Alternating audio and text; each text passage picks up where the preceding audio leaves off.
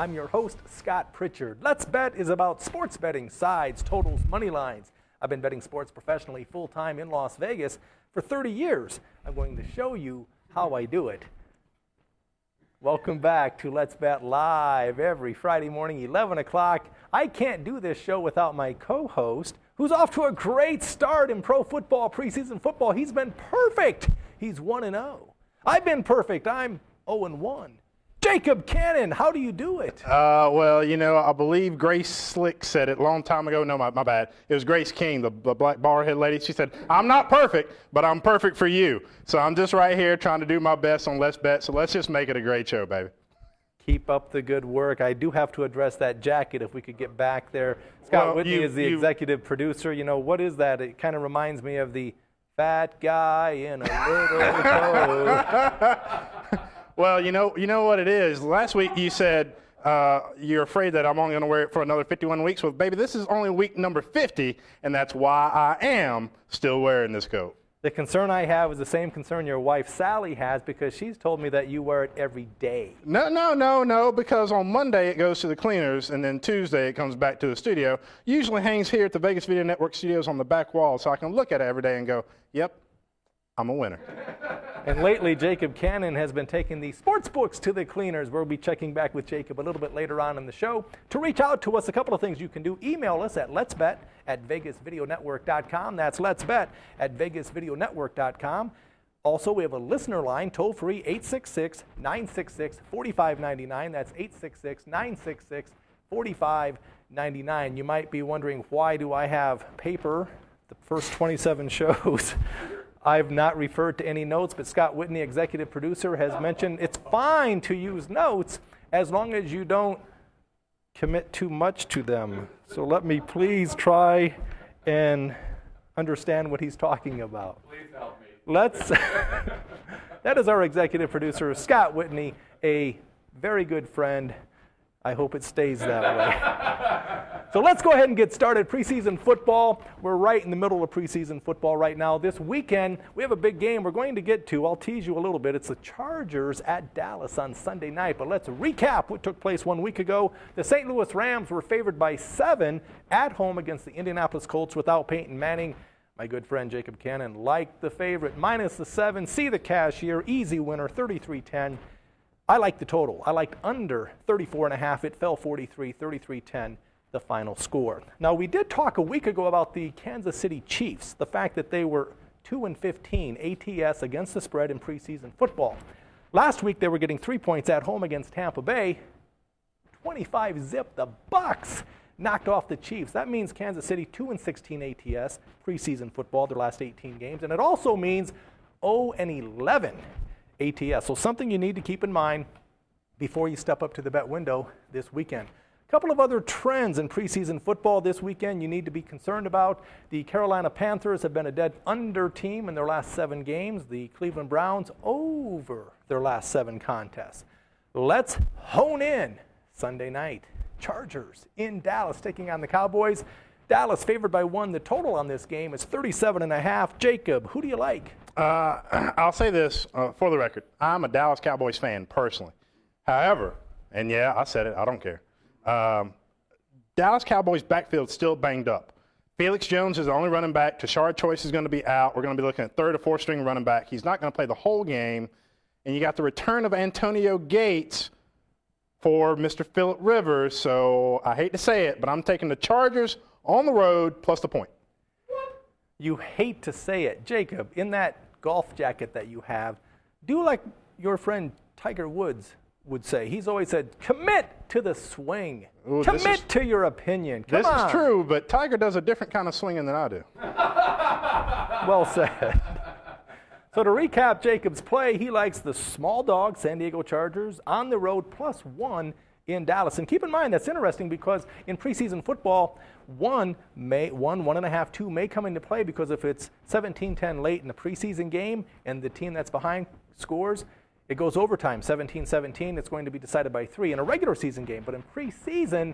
the team will just get the team back on the bus or on the plane and they'll go for two. So oftentimes a preseason game, if it's close late, it will be determined, will be decided by one point. So that one point could help. It could force a tie, but let's hope the Chargers win straight up so my friend Jacob can continue to eat. Let, before we get to my play, let's talk about the San Diego Chargers. Now, Jacob touched on the fact that Antonio Gates is playing. Star stud receiver missed 11 games last year. Philip Rivers, 4,800 yards passing last year. The Chargers, number one in offense, defensively, 32 teams, number one statistically speaking. But questionable coaching, yeah, that's right. I'm calling Norv Turner out. I'm not the only one. Talk to anyone in San Diego. Talk to anyone in Washington where he had talent with the Redskins. Same thing. Underachieved everywhere he goes. But in spite of that, Chargers are going to have a very good season. A team that didn't make the playoffs a year ago, that was then, this is now. Let's talk preseason football. Chargers taking on the Cowboys. The Chargers, it says right here, Scott Whitney, in my notes, five of their last seven games in the preseason have gone over. You know, I need to either type this up. See, that's why I don't do notes. I can't read my own writing. I should have been a doctor. why is Jacob on the camera? oh boy, this is going to be a great show. All right, great. Well, the San Diego Chargers are in Dallas. Let's talk now about the Cowboys. I've said enough about Norv Turner and the Chargers. The only thing I'll say in wrapping it up with the Chargers, we can keep that Dallas star up for the time being. The Chargers, their first preseason game, 0-1, 0-1 against the spread. They started out well when their starters were in the game, 10 zip. They led at halftime against Seattle, but then they lost 24-17 because their scrubs were weaker than Seattle's scrubs. Now, the Cowboys, it's tough to tell the difference between their starters and their scrubs. they did win a game somehow, some way last week, a very tight, close game. I don't know how because Jacob, you alluded it to it uh, earlier, and I'm surprised. Hey, you've done some homework this week. Very impressed, throwing out some statistics, some numbers, and even some players' names, and you pronounce them correctly. That's right. Now, is Jon Kitna still the backup for Tony Romo, or is he uh, 150 yet and collecting Social Security somewhere in Aruba? That's a good question. I was actually one of my cronies told me that it's going to be Tony Romo, Jon Kitna. I'm thinking Jon Kitna. What next? Roger Staubach? Kitna's still in the league. The guy has to be 110. Yeah, he is, and I think they should bring back Tom Landry if he's not dead.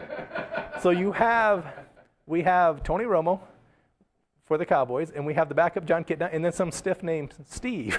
I don't mean to disrespect any Steves out there who don't play football. But the Cowboys, statistically speaking, in the preseason, they are 2 and 5 ATS against the spread coming off a win. That would lend itself to playing the Cowboys. But my friend Jacob, and I use that term, my friend, loosely, he likes the Chargers plus the one. My play, I like under 37 and a half based on the fact that Jacob, you're right. I, the Cowboys run rushing the ball last year, struggled preseason first game. They had some trouble. So I don't think that the Cowboys will run very effectively against the Chargers.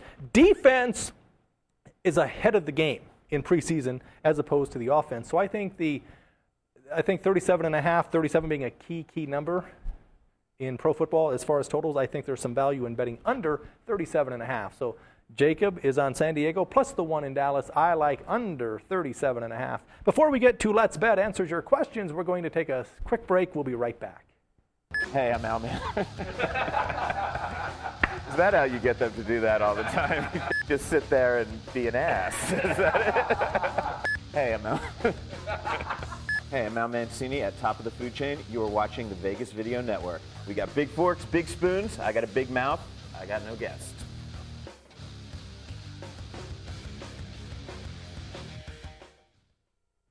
Welcome back to Let's Bet. I'm your host, Scott Pritchard. Great to have you with us alongside executive producer Scott Whitney, my co host Jacob Cannon. It's time now for Let's Bet Answers Your Questions. This is where we get questions, comments off the listener line 866 966 4599 or the email let's bet at vegasvideonetwork.com. Jacob, what do we have? We got uh, I got the director over here giving me some type of light or sign, so I think we did we got to wrap it up and only do one quick question here. Uh, uh, this one's from David in Charlottesville, Virginia. He wants to know who's a sleeper team to make money in the AFC or the NFC? I kind of like, I hesitate to say it because my circle of influence, my circle of friends, other professional sports bettors, we, we have a, a sleeper team. I don't want to say comatose team, but a sleeper team that they're on the upswing.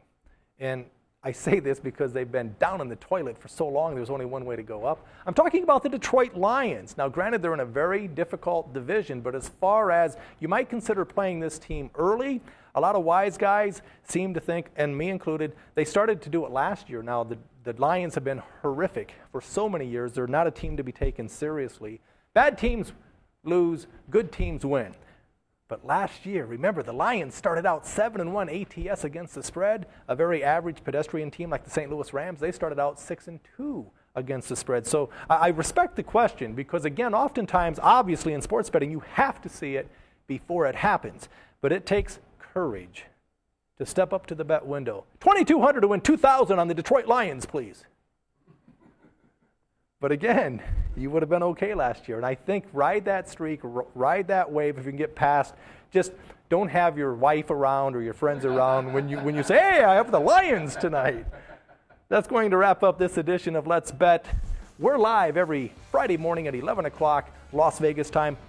Catch, catch us every Friday night from 6 to 10, Las Vegas time. All the shows on Vegas Video Network rebroadcast on KSHP Radio, AM 1400 for my friend Jacob Cannon. Jacob, do you have any, I didn't mean to shut you out. do you have any final comments?